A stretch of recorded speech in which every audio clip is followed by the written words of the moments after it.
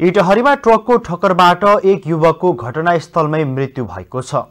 इटहरीको पश्चिम लाइन स्थित राजस्व ढाट नजिकै आज आइतबार दिउँसो ना छ ख पैँसठी पचहत्तर नम्बरको मालवाहक ट्रकले प्रदेश एक शून्य दुई शून्य चार छ प अठाइस बत्तिस नम्बरको स्कुटरलाई ठक्कर दिँदा स्कुटरमा सवार युवकको घटनास्थलमै मृत्यु भएको हो।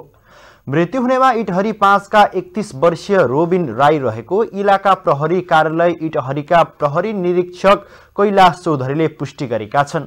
उनका अनुसार पूर्वबाट पश्चिमतर्फ जाँदै गरेको स्कुटरलाई विपरीत दिशाबाट आउँदै गरेको ट्रकले ठक्कर दिएको थियो। ठक्करबाट राईको घटनास्थलमै मृत्यु भएको प्रहरी निरीक्षक चौधरीले बताएका छन्। मृतकको शव पोस्टमार्टमका लागि धरान स्थित बिपी कोरेला स्वास्थ्य विज्ञान प्रतिष्ठान पठाइएको प्रहरीले जनाएको छ। ट्रक र चालक झापाको अर्जुन धारा नौका ठाकुरलाल तामाङलाई इलाका प्रहरी कार्यालय इटहरीले नियन्त्रणमा लिएर घटनाबारे आवश्यक अनुसन्धान सुरु गरेको प्रहरीले जनाएको छ।